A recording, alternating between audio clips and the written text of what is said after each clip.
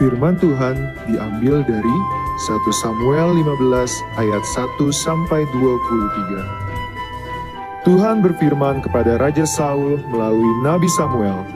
Saul adalah raja Israel pertama yang dipilih oleh Tuhan.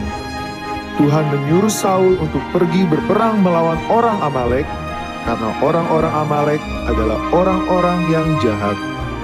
Pada waktu bangsa Israel pergi dari Mesir dan akan memasuki tanah perjanjian, orang Amalek menghalang-halangi orang Israel. Tuhan menyuruh Saul untuk mengalahkan dan menumpas orang Amalek. Semuanya harus ditumpas dan Saul tidak boleh menyisakan apa pun, baik laki-laki, perempuan, anak-anak, bahkan semua binatang ternak harus dimusnahkan karena Tuhan tidak berkenan kepada orang Amalek. Kemudian Saul dan segenap rakyat Israel berperang melawan orang Amalek.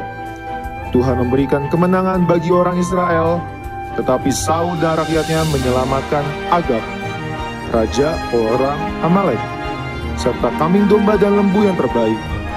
Mereka tidak taat kepada Tuhan dan tidak mau menumpas semuanya itu. Tuhan menjadi sangat sedih karena Saul dan rakyatnya tidak melakukan yang Tuhan perintahkan. Tuhan menyesal telah menjadikan Saul menjadi raja, sebab Saul tidak melaksanakan firman-Nya.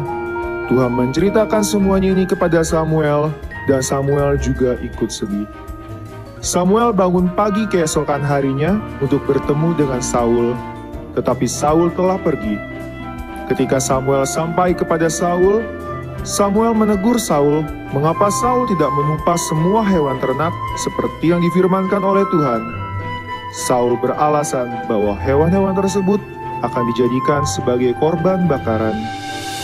Samuel menyampaikan firman Tuhan kepada Saul bahwa Tuhan menjadi sedih karena Saul tidak melakukan apa yang Tuhan firmankan. Saul tidak mendengarkan Tuhan dan melakukan yang jahat di mata Tuhan. Saul kembali beralasan bahwa dia mendengarkan firman Tuhan dan mengikuti jalan yang disuruh Tuhan.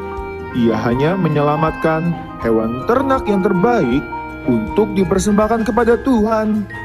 Tetapi Samuel menjawab Saul, Sesungguhnya, mendengar lebih baik daripada korban sembelihan. Karena Saul telah menolak firman Tuhan, maka Tuhan menolak Saul menjadi raja.